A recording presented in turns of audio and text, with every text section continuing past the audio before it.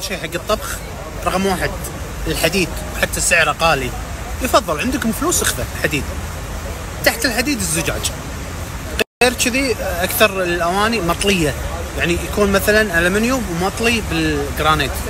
الجرانيت زين بس بعضهم لا يتشلخون. يعني لا يصير فيهم زلوق.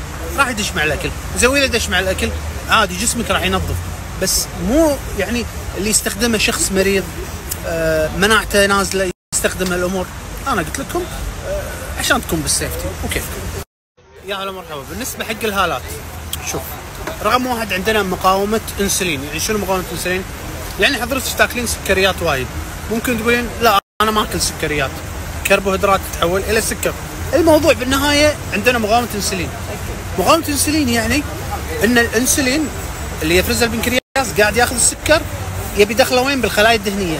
فالخلايا الدهنية مو قاعد تستقبل فقاعد يقاوم هني يسمونه المقاومة فيتم السكر زايد بالجسم مما يسبب التصبغات. ليش؟ لأنه يخدش الشرايين والانسجة. واضح؟ من أفضل الأشياء ندش كيتو عشان نفتك من السكر لأن هذا مشكلته السكر. ناخذ اوميجا 3 نحط مكان التصبغات نحط زيت عرقسوس من غير كحول. ومع الوقت ومع الرياضة ومع فيتامين niacin ال B 3 أو ginkgo biloba البشرة ترد كلها طقة واحدة. يا هلا مرحبا مساء الفل. الله يعافيك. أصوات البطن وش الحل؟ أوكي. شنو يعني أصوات البطن؟ يعني في خليط في هواء والأمعاء قاعدة تتشنج.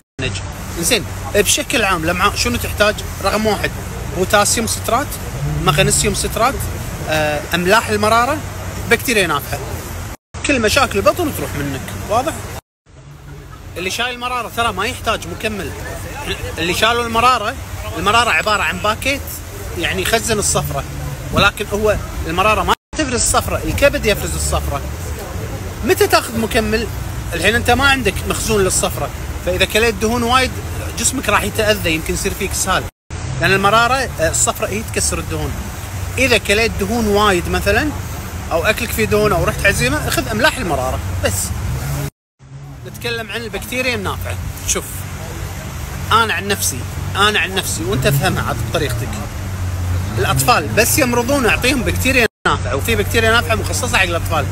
الياهل صارت مشكلة بطنه امساك اسهال أعطي بكتيريا نافعة.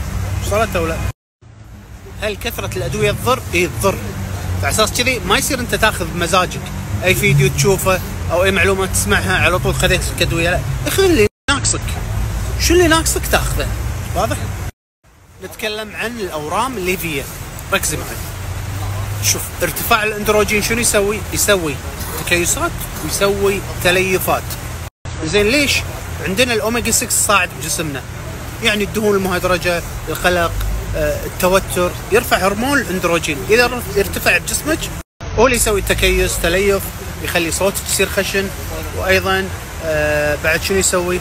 يسوي فراغات بالشعر وايد مشاكله ويحبس الماي بالجسم زين نبي نتخلص منه. رقم واحد تعدلين اكلك اشتركي مطعم diet. واخذي مكمل DIM هذا من بذور البروكلي. في شيء اسمه DIM يكسر الاندروجين واخذي شاي القراص. عشان ينظف الكبد من الاندروجين الزايد. كذي أمورك 100% يلا ركزوا معاي. في ناس تطق ليزر ما يطلع حبوب. كذي حمراء. وفي ناس تطق يطلع حبوب. شو الفرق؟ انت اللي طلع عندك حبوب؟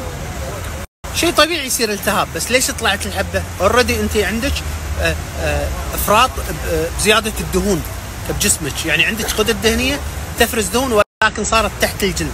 مع طق الليزر خلاص بينوا. وهم كذي ولا شي راح يبينون يعني.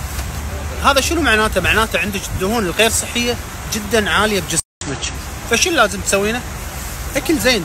ترى والله مهما قلت فيديوهات وتكلمت مجرد بس بس تعدل أكلك. ما له داعي حتى تاخذ أي فيتامين أو معدن. بالنسبة حق بذور الكتان. شوف ركز معي. من اللي ضروري يستخدمها اللي عنده سكر؟ ليش؟ لانها تحافظ على مستويات السكر.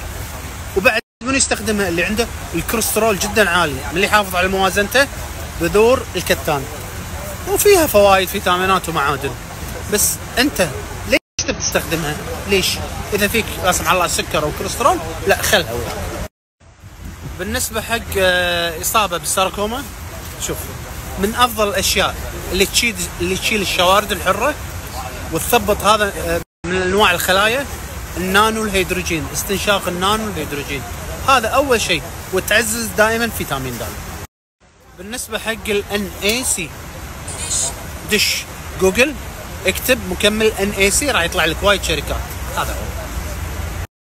بالنسبة حق ال NAC بالنسبة حق التشققات وال stretch رقم واحد نشط الغدد اللمفاوية برياضة لأن هذه غدة مو عضله عشان تطرد الماء وأيضا على أساس نخلي ال- ال- الجلد تصير سماكته قوية ويشد ناخذ فيتامين E ناخذ الكولاجين وفيتامين C.